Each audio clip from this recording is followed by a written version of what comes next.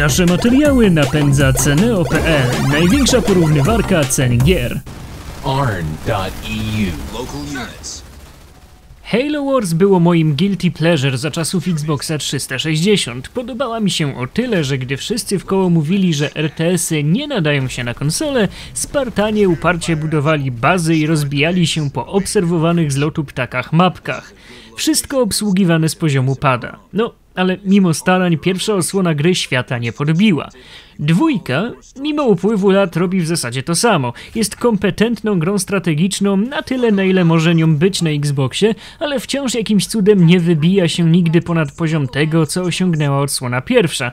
I to przecież mimo 8 lat między nimi. Jest rok 2559. Z hibernacji wybudzona zostaje zdezorientowana załoga statku Spirit of Fire, który 28 lat temu w ramach wydarzeń pierwszej odsłony poszedł w kriogeniczną kimę. Wybudzeni bez wiedzy o tym, co działo się przez ostatnie trzy dekady, bohaterowie trafiają na arkę, próbując dowiedzieć się kto i czy wygrał toczącą się za ich czasów wojnę. Okazuje się, że konstrukt zaatakowany został przez wywodzących się z przymierza wygnańców. Zamiast uciec w popłochu, kapitan Cutter decyduje stawić czoło opozycji. Największą zaletą i wadą Halo Wars 2 jest jego prostota. Gra wyszła co prawda też na Windowsa 10, ale u korzeni budowana jest z myślą o graniu kontrolerem, stąd też w grze konstruuje się raczej niewiele, a dużo częściej strzela i wydaje rozkazy. Centrum operacji są specjalne bazy, które rozbudowujemy doczepiając do nich kolejne moduły. Podobne rozwiązanie stosowało jakiś czas temu chociażby, jeśli mnie pamięć nie myli, pecetowe Grey Goo. Co więcej, nie możemy stawiać naszych baz, gdzie nam się żywnie podoba, miejsca pod zabudowę są odgórnie ustalone.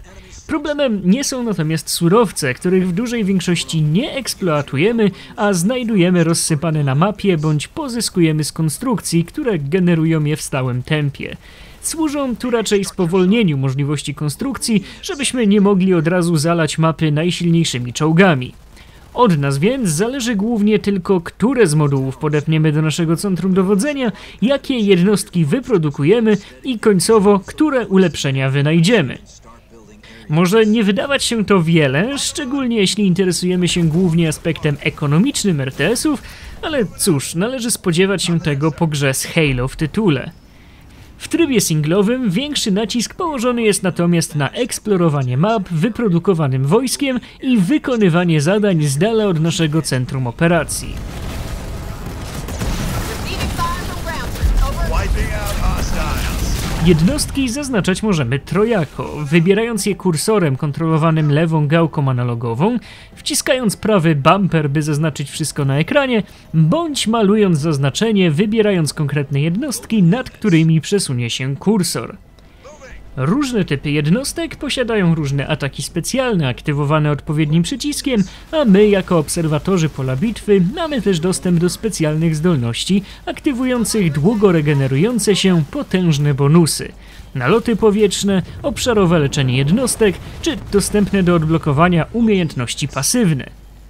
Problemem pozostaje niezmiennie wybór konkretnych pojedynczych jednostek, szczególnie w wirze walki, gdy chcemy bardzo szybko podjąć strategiczną decyzję, ale ogółem kontrolowanie gry padem nie jest wcale takie złe. Na uwagę zasługują natomiast wysokiej klasy filmiki odtwarzające się w kluczowych częściach fabuły. Na ich produkcję na pewno nie szczędzono budżetu, a ich jakość dorównuje tym znanym z głównej odsłony Halo. Jeżeli mieliście przyjemność grać w niedocenione moim zdaniem Halo Wars, to dwójka stanowi solidną kontynuację, nie zmieniając znacząco formuły oryginału i oferując więcej i lepiej tego, za co lubiono pierwszą część. Nowi gracze również mają szansę znaleźć tu coś dla siebie, szczególnie jeżeli nad warstwę ekonomiczną cenią sobie w nich potyczki i warstwę taktyczną. Z tym, że kampania singlowa jest w miarę krótka, bo składa się z jedynie, jeśli dobrze liczę, 12 planż.